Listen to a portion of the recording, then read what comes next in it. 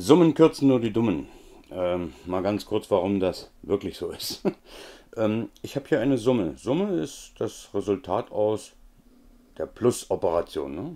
4 äh, plus 2 ergibt eine Summe, das ergibt 6. Und jetzt gucken wir uns das mal an. Wenn ich hier nur die eine 2 oder nur die eine 4, nur die eine 2 herauskürze, dann entsteht hier a ist gleich 4 plus 1 durch 1. Durch 1 kann ich mir schenken, also müsste das 5 sein. Das geht nicht. Mal ganz kurz gezeigt ich muss zuerst, und das zeige ich erstmal hier unten, bevor ich dann kürze, beachten, dass auf einem gemeinsamen Bruchstrich, dass praktisch diese Rechenoperation hier oben wie eine Klammer wirkt.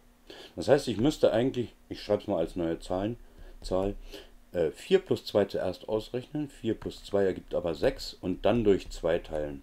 Die Profis teilen nicht mit einem Doppelpunkt, das ist eine Textschreibweise oder von, naja, von den kleinen Klassen, aber jetzt wissen wir, aha, a ist 3 und das muss auch rauskommen. Ähm, dahinter steckt eine ganz einfache Rechenregel, die heißt Klaps. Was dahinter steckt, äh, siehe links. Äh, in diesem Fall siehe Link. Ich werde zum Schluss hier einen Link dazu anfügen und zu anderen solchen äh, Tricks und Kniffs, Kniffen, äh, wie man ganz viel und ganz schnell etwas lernen kann. Ganze DIN A4 Seiten auswendig und so weiter. Aber zurück zum Kürzen. Wenn ich hier kürzen möchte, kann ich folgendes machen. Ich sage, ich fange erstmal an und sage 4 plus 2 ist 6.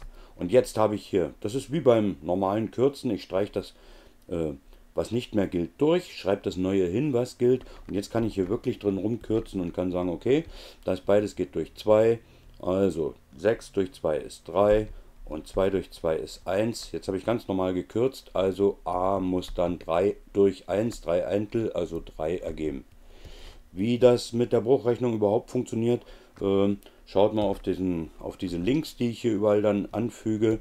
Äh, da gibt es einen ganzen Kurs, wie man gut mit, ähm, also entweder hier oben der Link, die Videos, die warten dann hier, wenn man hier raufklickt, beziehungsweise zum Schluss füge ich die Links an. Hier gibt es einen ganzen Kurs, nennt sich massiver Off, äh, Online Kurs oder ach, MOOC, kurz abgekürzt. Ich komme jetzt nicht auf die Abkürzung, unwichtig.